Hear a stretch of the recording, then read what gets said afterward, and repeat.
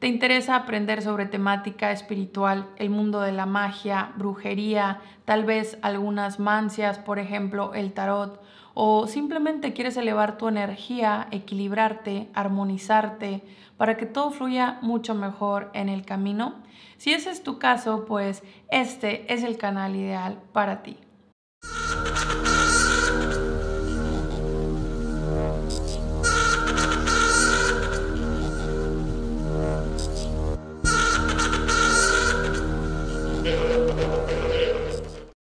Yo soy Lunata Flores y soy originaria de un pequeño pueblito en Nuevo León, México, donde por cierto abunda la brujería tradicional, pero no lo digan muy alto porque es un secreto. Desde niña la magia llamó mi atención, inicié a hacer algunas prácticas desde una edad muy temprana, guiándome por mi intuición y eh, guiándome también en la conexión que tenía con la Tierra, con la Luna y la verdad sin tener mucha teoría, todo era de una manera muy intuitiva. No lograba entender muy bien lo que me estaba pasando. Al principio pensé que era algo que le pasaba a todas las personas, pero conforme fui creciendo me di cuenta que no. Y nunca dejé de buscar respuestas y también nunca dejé de intentar eh, dominar esos dones que tenía.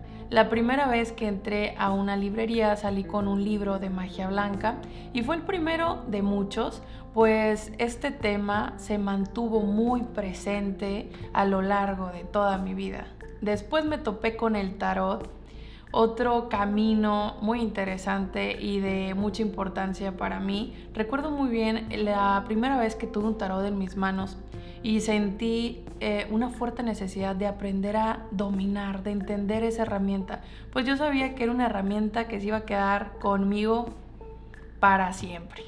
Actualmente me dedico a la brujería, soy bruja, también tarotista, me dedico también a leer el tarot y amo lo que hago, pues esto me permite conectar espiritualmente con personas que están incluso en otros países, me permite conocer otras culturas, otras creencias es un camino en el cual eh, nunca dejo de aprender. Y yo creo que así es, ¿no? El camino espiritual es un camino en el que uno nunca deja de aprender, de crecer y siempre vamos a aprender unos de otros. También tengo una tienda en Instagram donde manejo herramientas y productos, obviamente también de temática espiritual. Y mi tienda lleva como nombre Brujarius. Y mi último proyecto, El Brujatorio, un podcast para irnos a volar un rato en nuestras escobas y hablar de temas mágicos, ¿por qué no? Los años han pasado desde aquel día que nació esa pequeña curiosidad por la magia la verdad es que día con día esa curiosidad se transformó en una pasión y ahora esa pasión es mi trabajo, es mi camino y es mi estilo de vida y eso es lo que quiero compartir con ustedes en este canal.